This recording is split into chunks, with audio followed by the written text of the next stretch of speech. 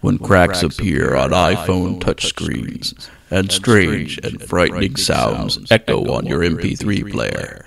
That is the time when the Neverland Podcast is present, broadcasting online with ghoulish delight.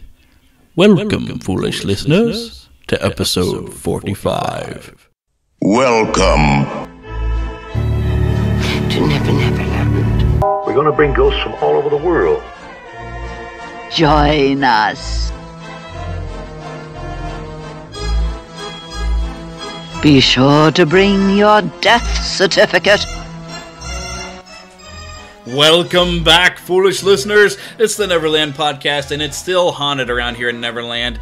But that's okay. I am your host, as ever, Jeremy, and I have not ventured into Neverland alone because it is haunted. I brought Lost Boy Phil with me. That's Philistine. Oh, great. He might have already become a monster himself.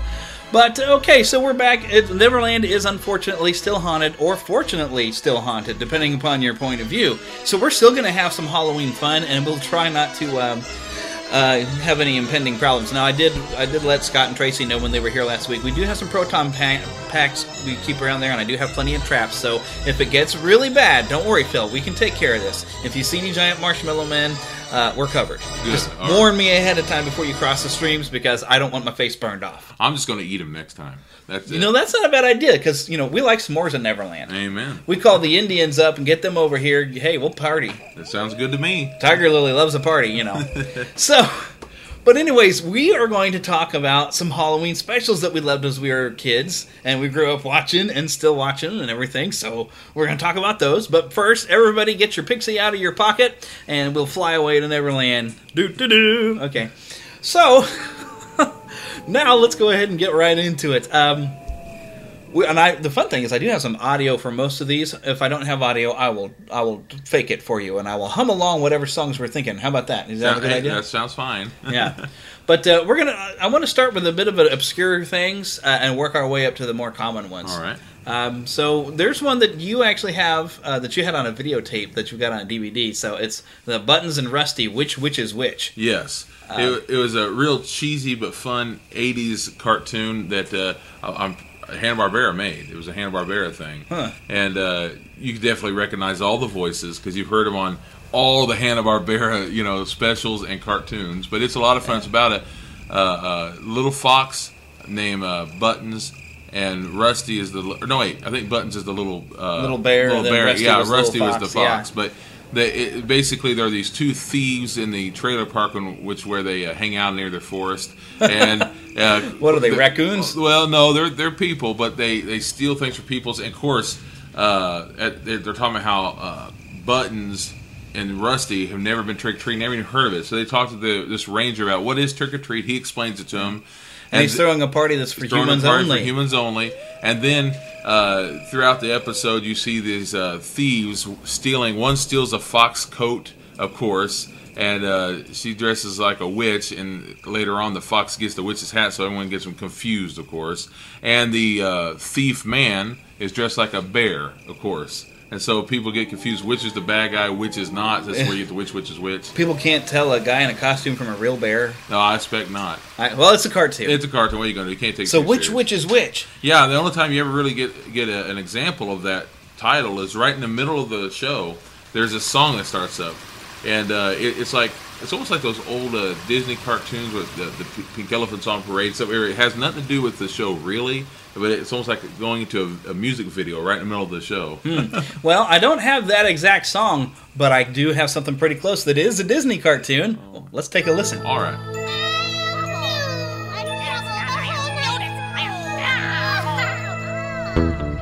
Which which is which? Can you tell me, please, oh, which, which is which? Is it me or do they all look alike? The one is on a broom. And one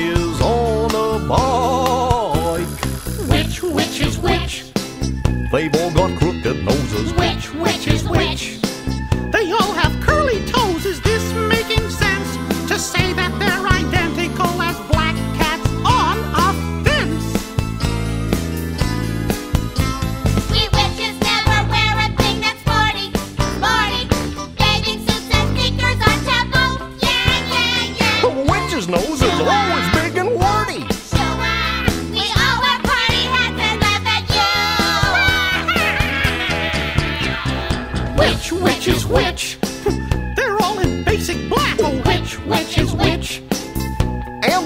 A stack of bat wings for snacks. I think that they should all wear numbers on their back.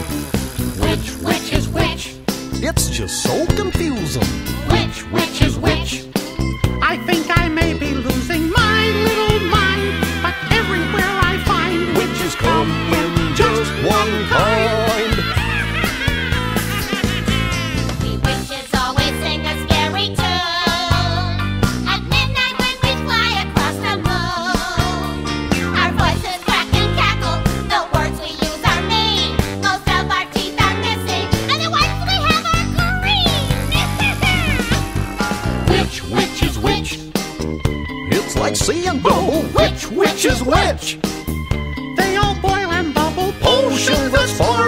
At night out in the park doing dances in the dark. Excuse me, ma'am. A- are you Esmeralda? No, that's Esmeralda over there. Gosh, they sure do look alike. Uh, hi. Uh, are you Esmeralda? Uh-uh, no, but I've got a nice recipe for mousy stew. Come on, Goofy. Let's get out of here. Whoa, I'm right behind you! Okay, so not exactly the same special, but it was Disney, and we're supposed to be a Disney show, Oh, right? yeah. So I, I can get away with that. so look, we've had some Disney. Now, if only I had like a good Marvel thing, because we haven't talked into Marvel in a good long time. Yeah, yeah. Although, if anyone's paying attention to our blog, it's news.neverlandpodcast.com. I did write up a, a thing that I do talk about the new Thor. Uh, which now that it is a, a woman, which I still don't know how he lost his hammer because in Original Sin they just have where Nick Fury whispers something in Thor's ear and suddenly the hammer drops him down to the moon's surface. But I have not gotten to see what in the world did he whisper. So, but there we go. And now we've had some Marvel in there for anyone who likes the Marvel half of our show. I can see Green uh, Green Goblin throwing a jack lantern at somebody. There, that's Halloweeny. Yeah. There is no Marvel Halloween special. Well, now wait a minute. Wasn't there one when they had the Spectacular Spider-Man? I know they had a Thanksgiving one. Well, they would have like a maybe a, a scary episode, but not Yeah. like a big Marvel I thought it was special. yeah, not, a Marvel special, but they think they had a Halloween based one. Maybe they had that one for almost every holiday through that season. Uh, yeah. Well, I haven't watched that in a while. But anyways, move move along here. And here's one I think is more closer to your forte. You've probably seen this more than more times than I have. But Fat Albert, yeah, and Fat Albert and his friends, um, they have a, a little Halloween thing. And Yeah. what is the kid's name? Uh, Jerry or something? Is this kind of tall, gangly looking Oh, yeah, guy? uh, and he's wanting to go and scare all the older people. And Albert's saying, "That's not nice. That's not cool to go scaring old folks just because right. they're old." So, but it's a really kind of fun and uh, fun story. Okay, at one point they go to see a movie before they get thrown out because Jerry and Rudy are acting up. Uh, but w- when they go to this movie theater, there's a poster on the lobby wall for a movie called The Chicken Heart That Ain't New York. And now this is a reference to one of Bill Cosby's early stand-up comedy routines called Chicken Heart, in which Cosby describes listening to the 1940s radio show Inner Sanctum as a child and being scared to death by an episode featuring a giant chicken heart that ate New York, and he spreads jello on the carpet and on the floor and slips his father up and broke his arms. And yeah, tell everybody how you burned up a, hundred dollar sofa because to save us from that boom boom. It's really Yeah. funny. Oh, you know what? Devry. That's the name of the band. Devry. Okay. Devry, yeah. I was on watching it and I was being quiet last night, so I didn't get to hear. But uh, yeah, so how many times have you seen that one? Oh man, I watched it two or three times a year since I was a little kid. So Oh, my all- goodness. I, I love that. I have it memorized. Well, speaking of having memorized, I've pretty much got Chicken Heart memorized, but I, I think it's appropriate that I share it right now. Go right ahead. I'm seven years old, standing up in my crib.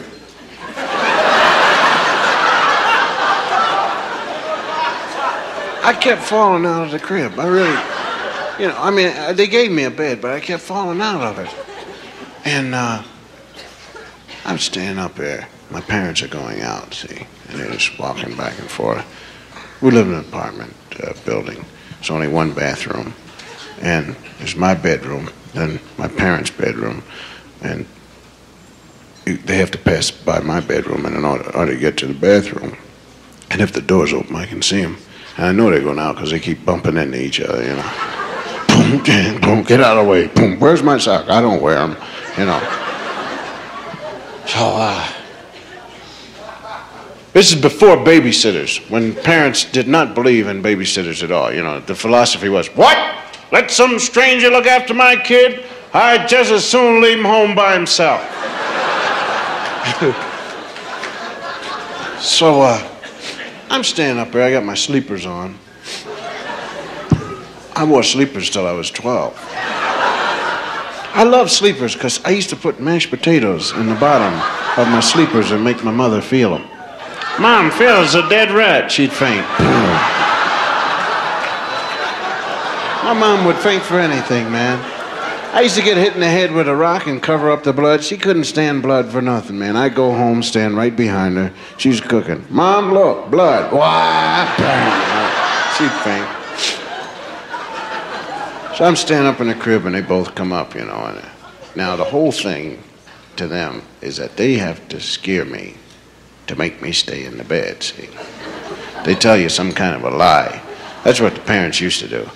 There's a green monster out the door. If you get out of that bed, he'll, he'll eat you right up, you know. So, I'm a con man. I really am. I'm a, I'm, I'm a good con man. Boy, I never went to school if I didn't want to.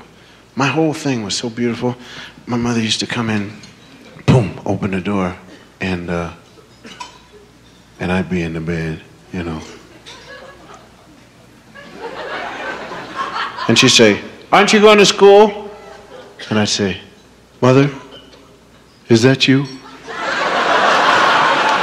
Just bring your face here so I can I can touch it before I leave. You know. Never went to school one day. And always got out at 3.30 to play. Used to go up to her. 3.30. A miracle happened! I'm well! You're not well, get back into bed. Honest to goodness, Mom, a little angel came right up on my bed, hit me with a wand, praying, said, go out and play. And she had to believe the angel. I knew that. So anyway, I'm standing in my crib. And I said, now don't get out of the, the, the crib, please. See, my, my father, I love my father's uh, approach. It was basic. Stay in the bed. That's all. You know, stay in the bed. See, I knew how to answer him. I will. And that was it. You know, he'd go and then I'd jump out of the crib, you know. Papa's beautiful, but mothers, they give you a half out. Stay in the crib because your life is important to this and that. Oh, yes, I've heard that before. But my old man would just come up, stay in the bed. Right, Dad. And he'd leave. He said his piece, you know. So now my mother comes in. I don't get out of the crib. Yes, mother. I'm tired anyway. I, I'm going to sleep. The Sandman's beating me to death. And I'm so tired. Pardon me for not seeing you to the door, but I'm just tired. I'm telling you right now, don't get out of that crib. Now, the last time you got out of the crib, you went in and listened to that, that radio and heard that awful Lights Out program, and it scared you so bad that you smeared jello all over the kitchen floor to make the monster slip if he came at you. And your father went into the kitchen to get a drink of water, slipped and hurt himself. Now, to make sure you don't, you don't get out of this crib, we've placed over a hundred black poisonous snakes around your crib. And if you so much as put a toe out there, they're going to bite you, you're going to swell up and be dead until morning. I don't see no snakes. They're invisible. And she left. Boom. Boy, I'm telling you right now, I'm so sick of this place. I'm gonna run away from home. She's always putting black snakes. Snakes! You get out of here! This is not your room, this is my room, and you just get out of here. I don't care who sent you in here. This is my room. I didn't ask you to come in here, nasty snakes. Snakes, do you hear me talking to you? Huh? Snakes? I gotta go to the bathroom. Come on, have a heart on a guy, will you?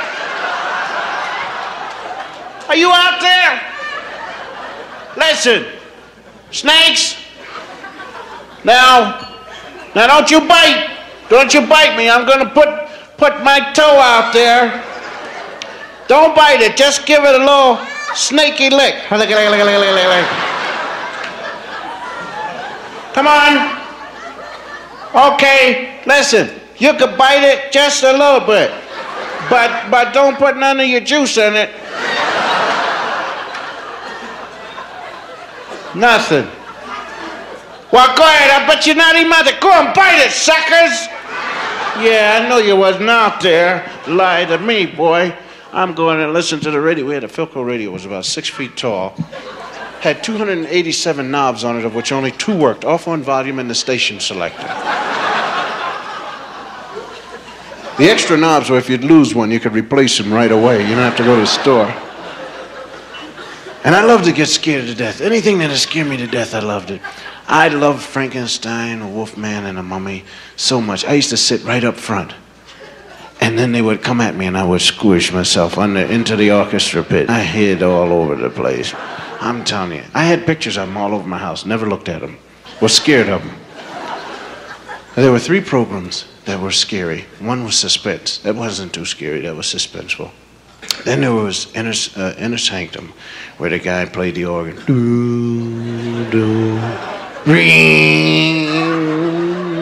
And then he would come in, good evening, and he was so happy to scare you to death. And he opened that door. uh, And then he told you a weird story about his uncle Harry who had lost his hip bone or something like that. Oh, man. But what really scared me was when he closed the door. At the end I knew somebody was in the house then. And I start smearing that jello. No monster gonna get near me with that jello on the floor. I've tripped up many a monster with that jello on the floor. Yes, sirree, Bob. And now, got my radio, I turn it on. You gotta wait maybe, maybe eight days. It'll heat up, you know, eight days. Spidey. And then I just, ah, there's good news. Good evening.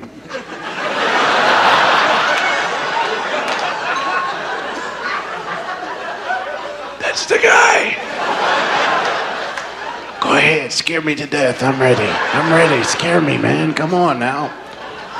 And welcome to Lights Out. Yeah, yeah, yeah. Go ahead, scare me. I was dumb enough to do whatever the guy said to do on the radio. Turn your lights out. Yeah, yeah, all right, yeah. They're out, they're out. Go on, scare me to death. I'm ready. Tonight's episode is about a chicken heart. A chicken heart that ate up New York City. Yeah, go chicken heart. Go. Go get him. Eat him up, chicken heart. Scare me to death. I'm, re- I'm ready. I'm ready.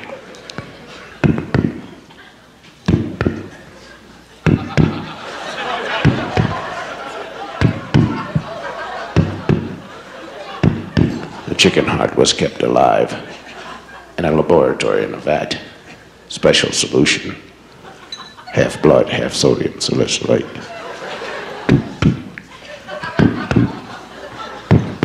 One day, a careless janitor knocked the vat over.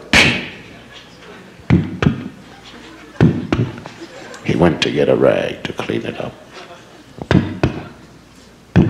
The chicken heart grew. Six foot five inches. And in search of human blood. The janitor came back, opened the door. The heart ate him up. What? Go get him, chicken heart. Go get him. Go get him. It moved out into the hallway. Rang for the elevator. Fourth floor. Go get him, chicken heart. Go get him. You will. Moved out into the street. Ate up all the cabs. Beep beep. The Empire State Building. Ate up the Jersey Turnpike. It's in your home state. It's outside of your door. And it's going to eat you up. Oh, I got my jello star smearing it all over the floor. Get out of here, chicken heart! I set the sofa on fire. You won't come near smoking fire and jello. My father came in the house and what's What the hell's the sofa doing on fire? Come in the house, the chicken heart's gonna eat you up. Hurry up, okay. Zip. What chicken heart are you talking about? One on the radio. Tell you the idiot, turn it off.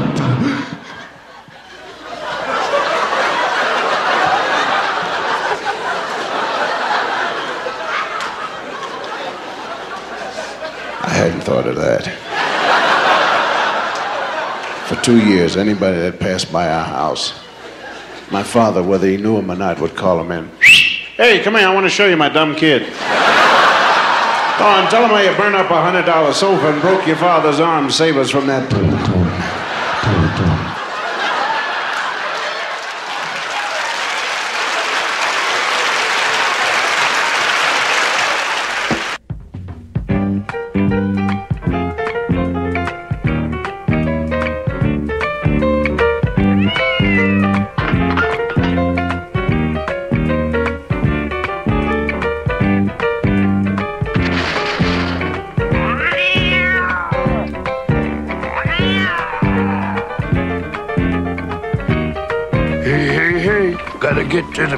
Big horror movie before the early show prices change. Yeah, but the main thing is that we're really gonna suck it to old Searchlight Johnson. Yeah! all the way through there.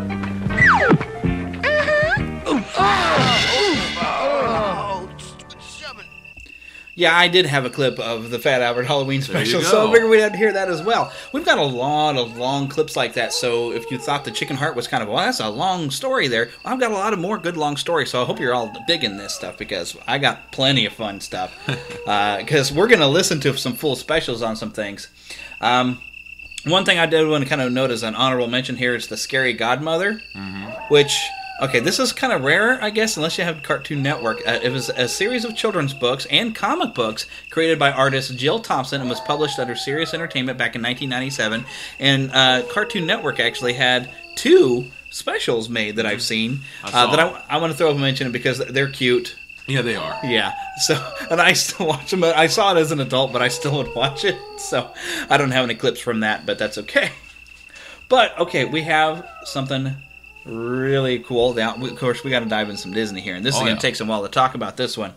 Uh, but it became, I think, more commonly known as the Disney Halloween Treat. Mm-hmm. It's about 90 minutes long, but it actually started with Disney's Greatest Villains in 1977, and then there was a Disney's Halloween Treat in 1982, and they combined it together where um, the the Halloween Treat was mainly a lot of shorts, and then they had the villain half, which uh, was of course villains, and was hosted by a magic mirror that uh, had a very very interesting history. And you were just telling me about this. Yeah, uh, the Magic Mirror uh, was what was his name again? Hans Conrad or Conried. Con- Connery Conrad. I'm not sure how to pronounce it. I'm he was the uh, voice of uh, Captain Hook. Awesome. And the old cartoons, and you can definitely tell when you're watching it because he's talking about all these great villains, and he's doing his big voice, and he had a great voice. yeah. And then he uh, suddenly goes talk about Captain Hook, and you hear Captain Hook talk and him talk. You're like, oh yeah, that's that's the mirror.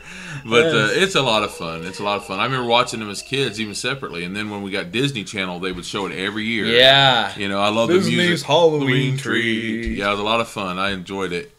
Oh, you know what? I actually have a soundbite, so let's hear it. Tonight, we bring you a Disney Halloween treat. Hello, I'm Michael Eisner. And the Disney gang stopped by my office on their way to a Halloween party to show me their costumes. How do I look, Michael? Well, Mickey, you look great. I would have never guessed it was you. Hi, Michael. It's me, Minnie. How do I look? Uh, fantastic. You look truly fantastic. How? Uh, by the way, where's Goofy? Oh, he'll be right here. He's been working on his costume for a month. No one will ever guess it's Goofy. Never. Oh, there's Goofy now. Hiya, guys. What do you think? Wow, that's a swell costume, don't you think, Michael? It's okay. It's okay.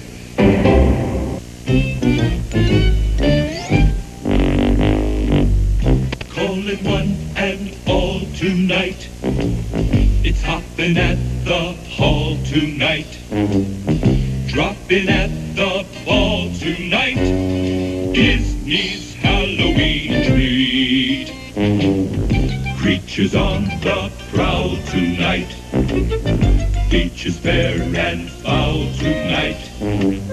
They'll meet you there to howl tonight at Disney's Halloween treat. Now that wasn't the only Disney special that, that was really really awesome. There was also, do you remember DTV? Oh yeah, Disney TV. Disney TV. It was like it was on the Disney Channel mainly. It was the, they did like music videos. You and used to watch would it every morning. Yeah, every they put cartoons to it and do like you know their It was when. MTV had just really gotten big. Yeah. And they had to have their own version, which is a lot of fun. You know? Yeah, and so they did DTV, and they would show cartoon clips to like classic old songs. But they did a DTV Halloween special that Uh-huh. came on as a Magical World of Disney also. And the cool thing is, is uh, voice actress June Foray recorded new lines for the character Hazel the Witch for this TV special. I remember that. Yeah. and it was nearly 35 years after she first recorded Hazel's voice for the 1952 Disney animated short Trick or Treat, which I Yep. love that one. Uh, and that was 1952. Uh, so Foray also then voiced Looney Tunes characters Hazel the Witch, Uh-huh. who menaced Bugs Bunny and Daffy Duck. She's also that. probably both, bo- uh, more known as on like being Rocky from Rocky and Bullwinkle, and uh, then she was also Natasha. Mm-hmm. Uh, then she came back and was Raggedy Ann, actually in some Halloween special. Yeah, uh, the pumpkin that never smiled. Yeah, that's a which good one. Also featured Daws Butler as Uh-huh. Raggedy Andy. So right. there's another mention. I don't really have a sound clip of that one. I don't think I ever watched that one though. It's it's good. It's very Chuck Jones does the best. Yeah. You know. Yeah. What's great is the pumpkin's crying, and he's crying out pumpkin seeds. Oh, well, that's kind of cute. Uh, but the next one we definitely want to talk about. Um, uh oh. Phil, look out! Look, oh, oh, uh, uh, uh, part of the technical difficulties. The proton packs are over there. Phil, hurry! Look out! Ah! Okay, okay. I, I think I got him. I think I. Phil. Uh oh. Where's Phil? Oh well, hang on. I, I, let me just trap this thing. No problem. We got this under control. Everything's under control. And got him. okay. Uh, we seem to have lost Phil. Uh, I did warn everyone Neverland was haunted, but uh, I did find Pixie Heather's here, though. Hello. Okay, well, uh, you, you're fine, though. You're, no ghost, ghost bothering you, right? You're fine? Oh no, I'm good. Yeah. Okay, good, because you didn't look like you'd been slimed yet, so... Uh, so technical difficulties, uh, but we will press on. Uh, you had a favorite Halloween special, right? Yeah, my favorite Halloween special is uh, the Garfield Halloween uh, Adventure, um, and that's my favorite one. Probably because I like cats and I like Garfield, and it's been my favorite. You know, not just like not like the specials. I like those, but also like the cartoon strips and everything Garfield. I love Garfield. Yeah, and Lorenzo Music kind of made it famous for being the voice. Uh, he was also like Peter Venkman in the Ghostbusters, conveniently Ghostbusters animated series, the, the real Ghostbusters. Uh, and then uh, we got to, of course, talk about Lou Rawls doing some of those songs. Uh, he did too, he did like the intro song and the the uh, the one thing he's not is a scaredy cat. Yep. There's a lot of good songs, but the overall story uh, is you know, where they go, Odie and Garfield go trick or treating, and they're dressed as pirates, and they have this fun pirate song, and they find a guy who you can't really look at the time frame of how this is supposed to be because the guy is supposed to have been the cabin boy on a pirate ship. It's a kid special. Yeah, because like you know, how old would he have to be? He'd have to be like hundred something years old, hundred fifty. So I always kind of thought he was a ghost himself. I mean, like Yeah. I know he takes off with the boat, you know, in the end. yeah, he runs for but, it. but I, I don't know. I always thought, you know, watching it as a kid because it does kind of like, well, wait a minute, that's like a really long time. You can't be that old. But I always thought that he was just a ghost too, and like it was just a big ghost story. Yeah, I think from, it's the only way you can end. the only you way you can justify his age. Mhm. But it's supposed to because it's supposed to only though be like uh, a hundred years after the the cursed treasure was buried there. But uh, we do have some sound from it. Would you like to hear it? Yes. Okay. This is a night This is the night I was created for. I'm gonna put on my best disguise and go knocking on everybody's door. This is a night This is the night I'm gonna hit the street. Cause this is a night folks are giving away so many good things to eat. Oh, people, you know life could be so sweet. If every night was a night to go trick or treat. Trick or treat. Wouldn't it be sweet? Trick or treat. Just a trick or treat. Trick or treat. Wouldn't it be sweet? Trick or treat. Just a trick or treat.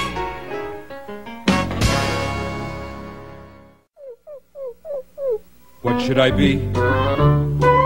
There's so many sides to me.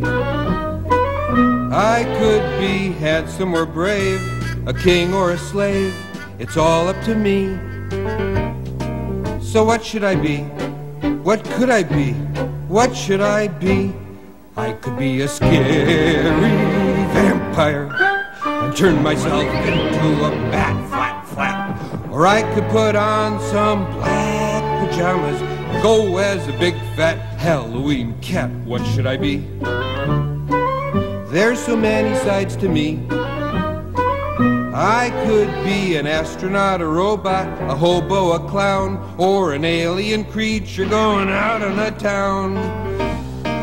What should I be? It's all up to me. What should I be? Let's go.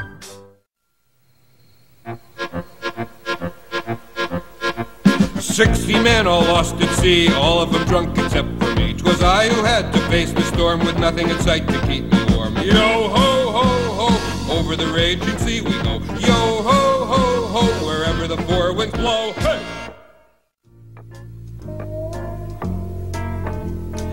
May be lazy, I may be fat, I don't do laps, and I do not chat.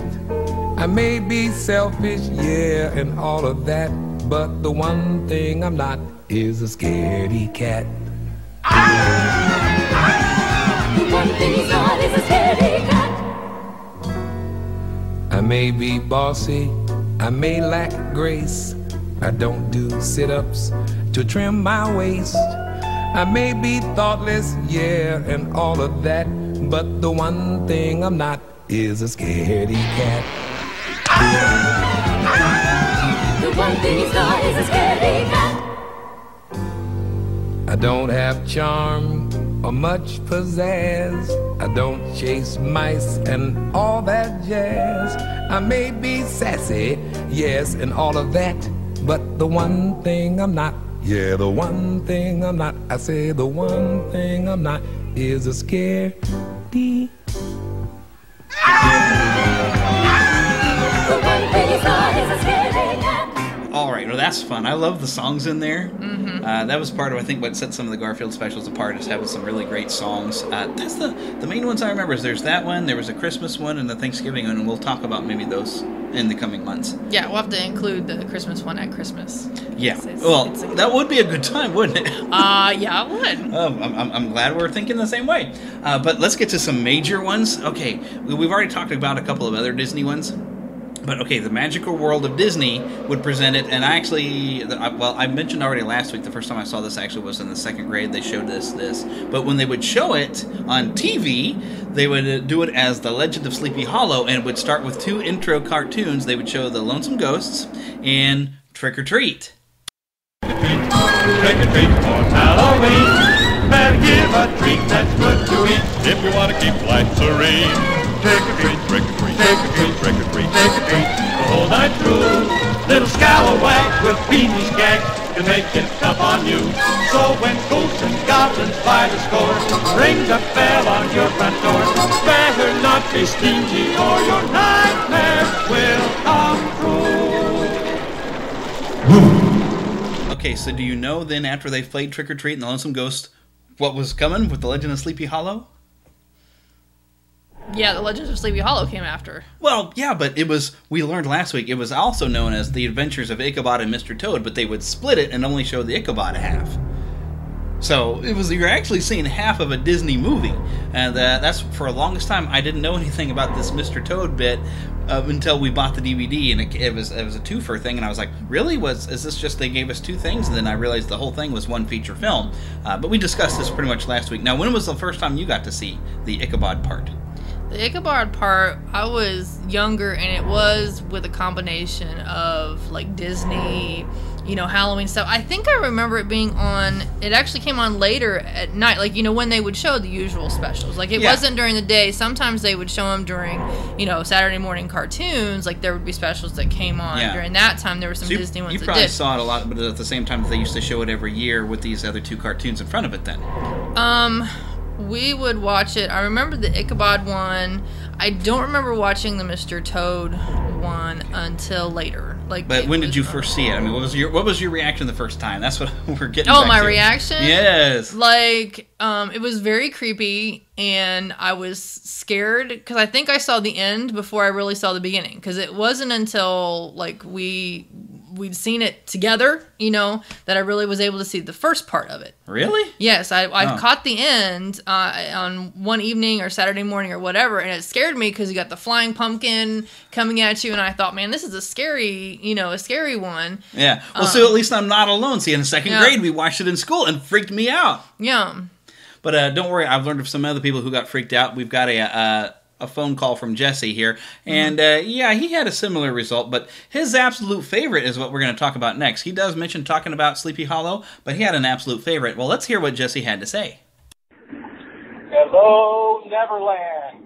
This is Lost Boy Jesse coming to you from his mobile recording studio, also known as his car. Uh, we know that we are talking about our favorite Halloween festivals this week, and I just want to chime in real fast with two of my own. The absolute favorite non-Disney Halloween special that I have would have to be It's the Great Pumpkin and Charlie Brown. You know, I'm sure someone already talked about it during the show, but it's the story of Linus and Charlie Brown and the Great Pumpkin and or treating and I Gotta Rock. It's one of my favorite all-time shows, something I look forward to every year, and it's become a family tradition. But my absolute favorite Halloween special has to be The Adventures of Ichabod. We don't talk about the Wind in the Willows or Mr. Toad. That doesn't matter. It's the Adventures of Ichabod, Bing Crosby, retelling the story of Washington Irving's Headless Horseman. My gosh, I saw this when I was a kid on the Disney Channel, back when the Disney Channel was the Disney Channel, and it was so much fun. Scared me to death the first time, but anyone who sees my Facebook page now knows I'm paying homage to it all month long. It's one you have to check out. Anyway, that's my two cents worth. I'll send it back over to the rest of the crew now. Bye, guys. All right, so everybody did catch that. Jesse's favorite is It's the Great Pumpkin, Charlie Brown, which is actually kind of one of my favorites too. I love all the Charlie Browns. I liked it too. Yeah, it's a classic one. And let's see, I did find some information about it, didn't I? Oh, yeah, I did. Uh, we were kind of wondering uh, because there was the Christmas special, uh, Charlie Brown's Christmas. We know that was the first one. And we found out that the Great Pumpkin was actually the third one. It's the Great Pumpkin, Charlie Brown. October 27th of 1966 is when it first aired. Uh, it's the third special, but the second holiday they had done. There was actually Charlie Brown's All Stars that was just the June on June 8th of 1966. That was just a few months before the Great Pumpkin. Uh, but the Great Pumpkin, the fun part is I've got actually read from the library some of the classic old uh, Peanuts strips.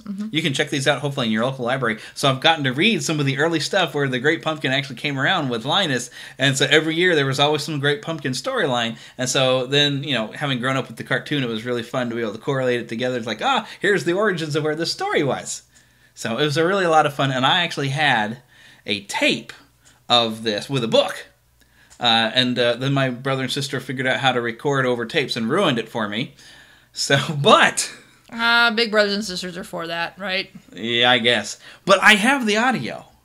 And so I can share the audio, and that's pretty much how we're going to round out the show. I'll go ahead and I'm going to share the audio from It's a Great Pumpkin, Charlie Brown. Uh, not from the special, but from a read along book. And I also have the Bing Crosby narrated of The Adventures of Ichabod, or betterwise known as The Legend of Sleepy Hollow. So let's go ahead and play those both back to back and have some fun with that. Sound like a good idea? Sounds good. Alrighty, and we'll just keep an eye out for that ghost that grabbed Philip because uh, we we probably better rescue him. Hi, I'm Charlie Brown. You can read along in your book as you listen to the story. You'll know it's time to turn the page when you hear the chimes ring like this. And now we present It's the Great Pumpkin, Charlie Brown.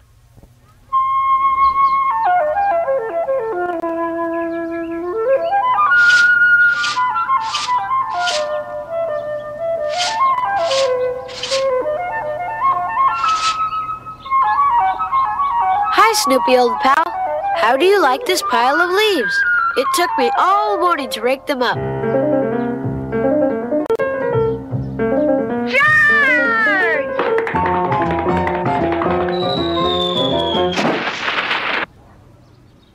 Never jump into a pile of leaves with a wet sucker.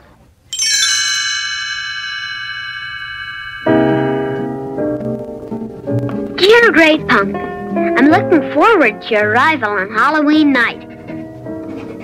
I hope you will bring me lots of presents. Who are you writing to, Linus? This is the time of year to write to the Great Pumpkin. On Halloween night, the Great Pumpkin rises out of his pumpkin patch and flies through the air with his bag of toys for all the children. You must be crazy. When are you going to stop believing in something that isn't true? When you stop believing in that fellow with the red suit and the white beard who goes ho, ho, ho. We are obviously separated by denominational differences. Not again! Writing a letter to a stupid pumpkin? You make me the laughing stock of the neighborhood. All they talk about is my little brother, who always writes to the great pumpkin. You better cut it out right now or I'll pound you. There are three things I have learned never to discuss with people religion, politics, and the great pumpkin. What are you doing, Linus? I'm writing to the great pumpkin. You say the cutest things. You're so intelligent. Wouldn't you like to sit with me in the pumpkin patch on Halloween night and wait for the great pumpkin? Oh, I'd love to, Linus.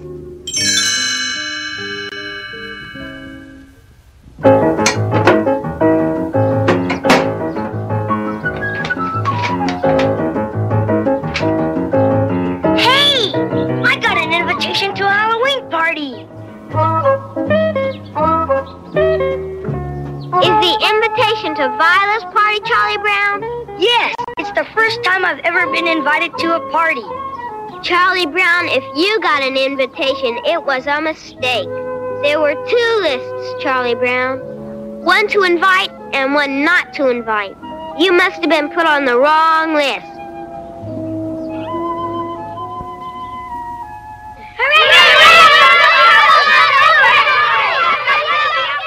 Is Linus taking me to the party?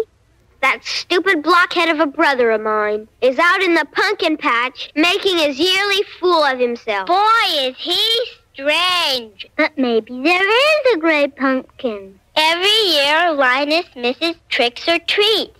And then the Halloween party. He'll never learn.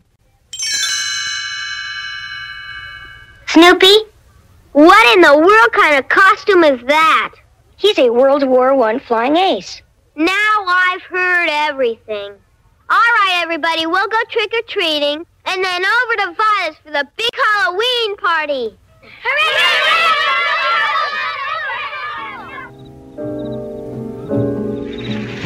Hi, Linus. Hey, you come to sing pumpkin carols? You blockhead, you're gonna miss all the fun just like last year. Don't talk like that. The great pumpkin knows which kids have been good and which kids have been bad. You'll be sorry. Oh, good grief. Come on, let's get going.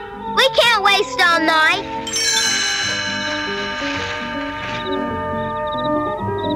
I'm glad you came back, Sally. We'll just sit here in this pumpkin patch and you'll see the great pumpkin with your own eyes. Each year, the great pumpkin rises out of the pumpkin patch that he thinks is the most sincere. He's got to pick this one. He's got to. I don't see how a pumpkin patch could be more sincere than this one.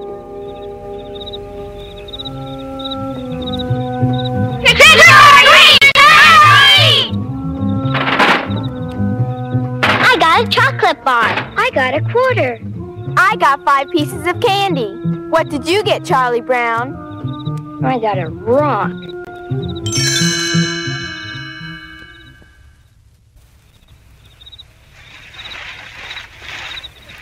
One blockhead sitting in a pumpkin patch in the middle of the night. Has the great pumpkin been by? You've missed trick or treat, and now you're going to miss the Halloween party. You think you're so smart. Just wait until the great pumpkin comes. He'll be here. You can bet on that. Linus knows what he's talking about. Linus knows what he's doing. All right, where is he? He'll be here. I hope so. I have my reputation to think of, you know. And just think of all the fun we're missing. Just look. Nothing but sincerity as far as the eye can see.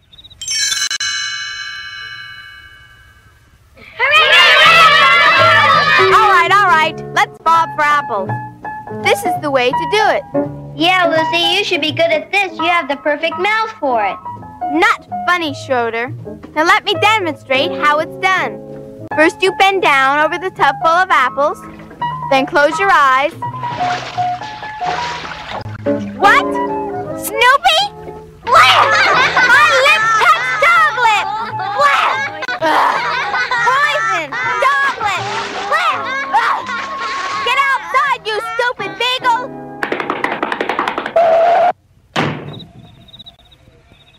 If anyone had told me I'd be waiting in a pumpkin patch on Halloween night, I'd have said they were crazy. Just think, Sally. When the great pumpkin rises out of the pumpkin patch, we'll be here to see him. What's that? What's that? I hear the great pumpkin. There he is! There he is! It's the great pumpkin! He's rising up out of the pumpkin patch!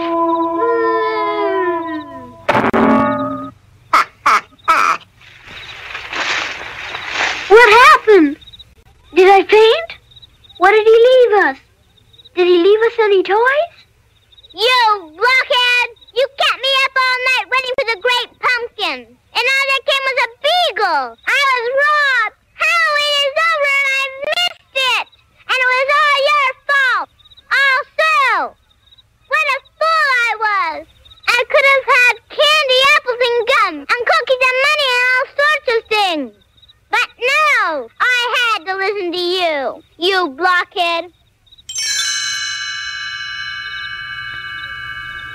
About Fury and a woman scorned, haven't you?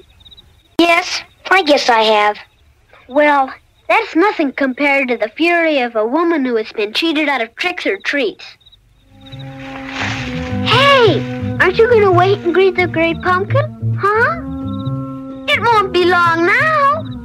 If the great pumpkin comes, I'll still put in a good word for you. Good grief, I said if. I meant when. I'm doomed. One little slip like that can cause the great pumpkin to pass you by.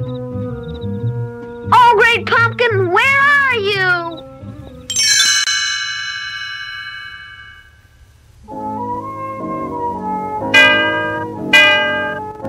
Good grief! It's two o'clock in the morning! Where is that stupid brother of mine? He must still be out in the pumpkin patch waiting for the great pumpkin.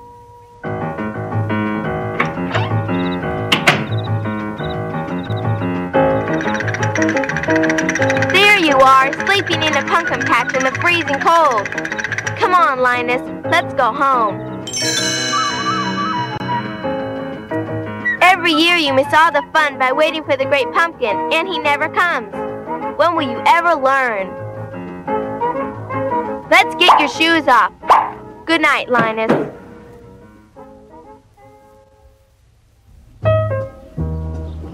Well, another Halloween has come and gone. Yes, Charlie Brown. I don't understand it. I went trick-or-treating and all I got was a bag full of rocks. I suppose you spend all night in the pumpkin patch. And the great pumpkin never showed up? Nope. Well, Don't take it too hard, Linus. I've done a lot of stupid things in my life, too. Stupid! What do you mean, stupid? Wait till next year, Charlie Brown. You'll see. Next year at this same time, I'll find a pumpkin patch that is real sincere. And I'll sit in that pumpkin patch until the great pumpkin appears. He'll rise out of that pumpkin patch and he'll fly through the air with his bag of toys. The great pumpkin will appear, and I'll be waiting for him. I'll be there. I'll be sitting there in that pumpkin patch, and I'll see the great pumpkin. Good grief.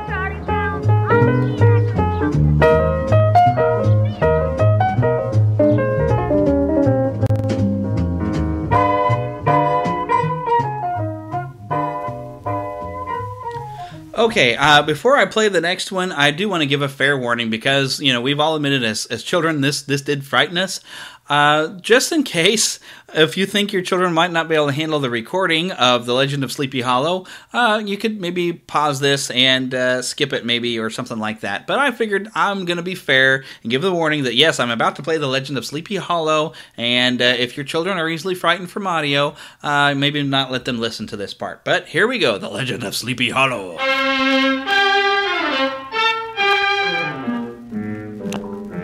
If we could but journey back to that remote period in American history when the city of Manhattan was but a market town, we would discover in the bosom of one of those spacious coves which indent the shores of the Hudson the little village of Sleepy Hollow. It was a quiet, peaceful place, and yet somehow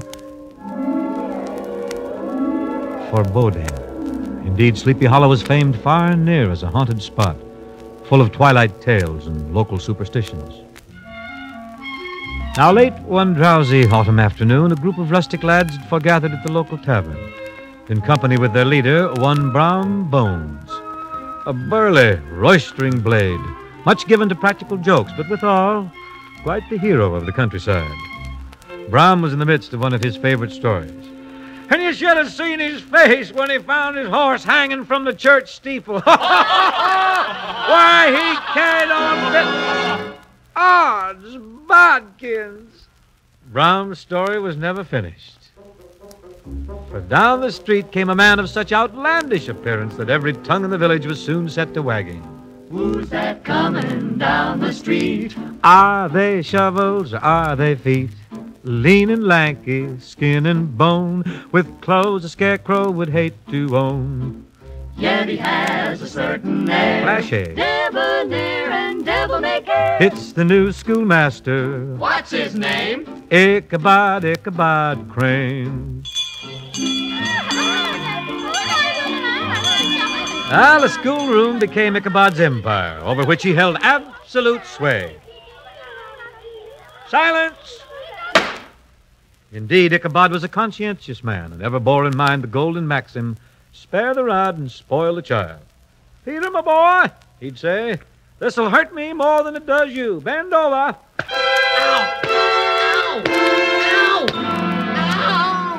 Now, the pedagogue is generally considered a man of some importance in female circles.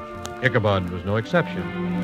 Indeed, he soon proved himself a man of many talents, and among other things, became the singing master in the village. Ladies, ladies, please, please, the pear-shaped tones I want, the mask project. Let me hear it. Observe. Regarde. Me, me, me, me, me, me, me, me. Further, Ichabod was kind of a local gazette, carrying the news from one household to the next, for the schoolmaster loved to gossip. Now, I wouldn't want this to go any further, ladies, but I happen to know No, the the very other... idea. She didn't. Oh, yes, she did. And what's more, it has come to my attention that on one. Oh, yes. When it came to the weaker sex, there could be no doubt of it. He's the town's ladies' man. Gets around like nobody can. Of course, it is none other than Ichabod, Ichabod Crane.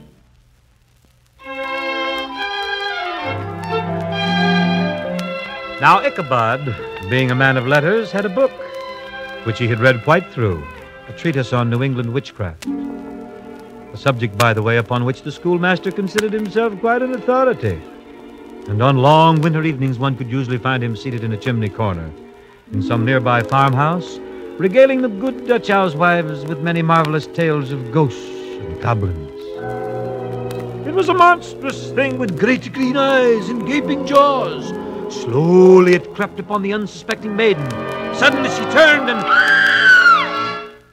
But if there was pleasure in this, it was dearly purchased by the terrors of Ichabod's walk homeward.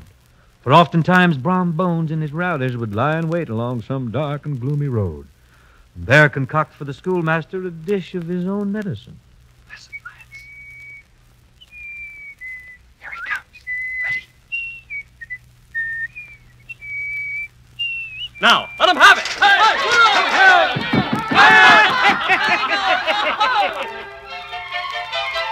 Yet these were but terrors of the night. Ichabod would have passed a pleasant enough life of it had his path not been crossed by a being that causes more perplexity than ghosts and goblins. And that was a woman. Katrina Van Tassel, daughter and only child of old Baltus Van Tassel, the richest farmer in the county. Ah, she was a blooming lass, ripe, melting, rosy cheeked, but a bit of a coquette. For Katrina will kiss and run, to her a romance is fun, with always another one to start. And yet when you've met that little coquette, Katrina, you've lost your heart. Yes, one glance at this tempting morsel was quite enough to fill Ichabod's mind with many sugared thoughts and hopeful dreams. Ah, ah, Katrina, who can resist your grace, your charm?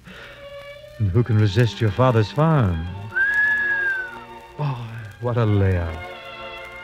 And though the schoolmaster was well aware he faced a formidable rival in the person of Brom Bones himself, still he was determined to win the fair Katrina for his own.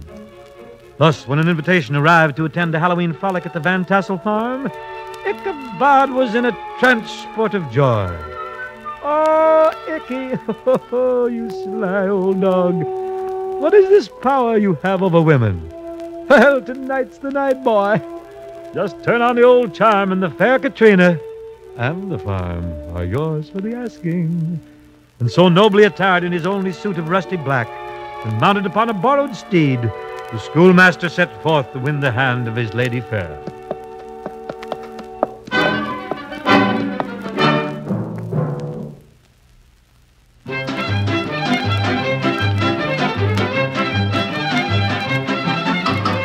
In all the countryside, there was nothing to equal a merrymaking at Mynheer Van Tassel's farm.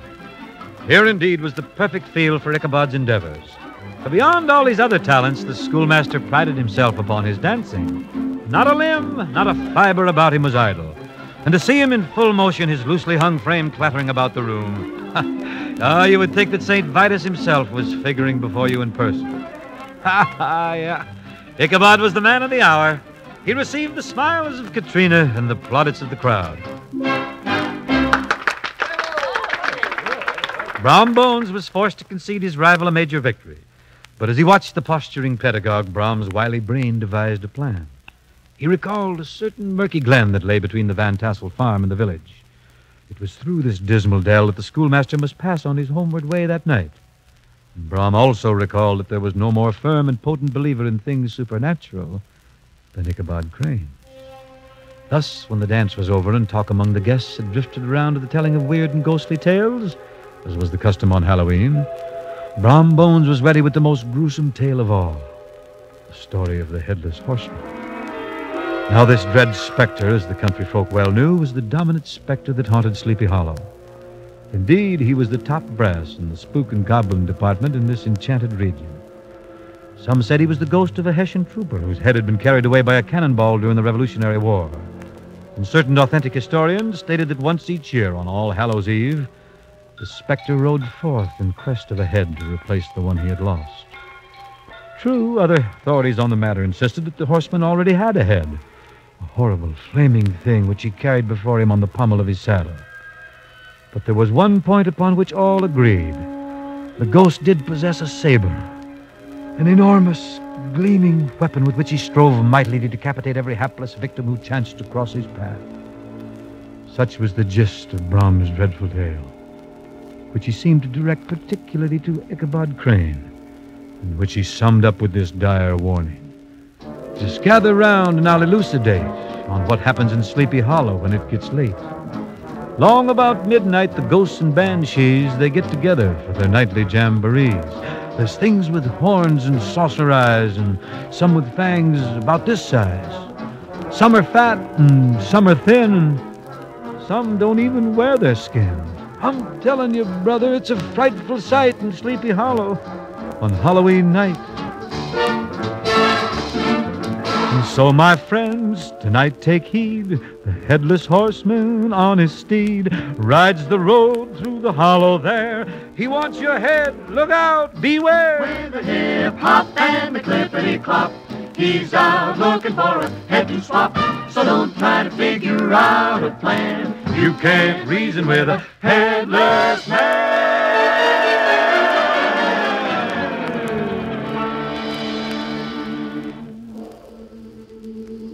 It was the very witching hour of night when Ichabod, astride his sorry nag, entered the portals of the dreadful hollow. To keep up his flagging courage, the pedagogue began to whistle. When suddenly there loomed up in the road before him a huge, misshapen, towering thing. Ichabod's hair rose in terror, his teeth chattered. His knees smote against the saddle. No, no, no, no. But yes, it was a horseman, gigantic in height, muffled in a cloak, and horror upon horrors. The head that should have rested upon his shoulders was carried upon the pommel of his saddle. Transfixed with fear, Ichabod watched as the phantom drew from beneath his cloak a long, gleaming saber, and then the stroke missed by a hair's breadth, and with a shriek of fright, the worthy pedagogue was off as fast as his horse could carry him. But on the instant, with a scream of fiendish laughter, the demon took off in hot pursuit. Stretching his long, lank body over his horse's head, the schoolmaster strove to widen the gap. Come on, boy. Come on, horsey. Oh, horsey, please, come on. The ancient nag responded as best he could, but alas, it was all too evident that the demon was closing ground.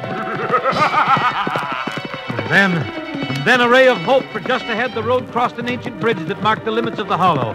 Beyond lay safety, for here, according to the legend, the specter's power must end. Get up, horse. Oh, horsey, get up, get up, come on. And so, with one last convulsive kick, Ichabod hurled his flying steed across the resounding flanks. Safe upon the other side, he pulled his horse to a stop, turned to watch his pursuer vanish according to the rule in a flash of fire and brimstone, but instead, he beheld the horseman rising in his stirrups, and from his outflung hand came hurtling straight toward Ichabod the demon's awful grinning head.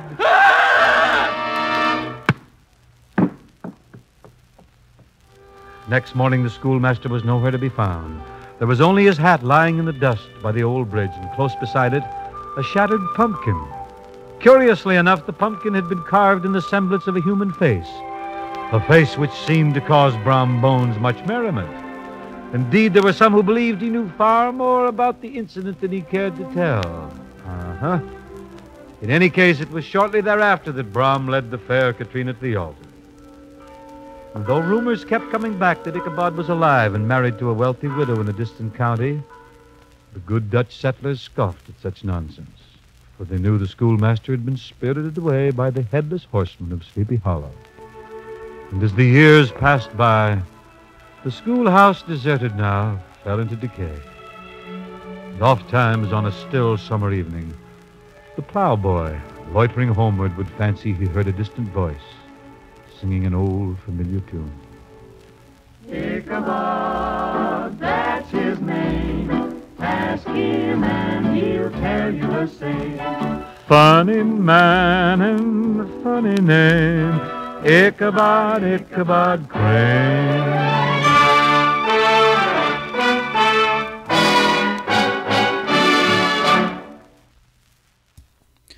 Okay, well, I guess everything's fine now. Uh, we did manage to find Phillip. Uh, he has unfortunately been slimed. Uh, he's not too happy about that, but he's okay, really. Uh, you know, we'll just be more careful next time here on the Neverland podcast while we're still haunted.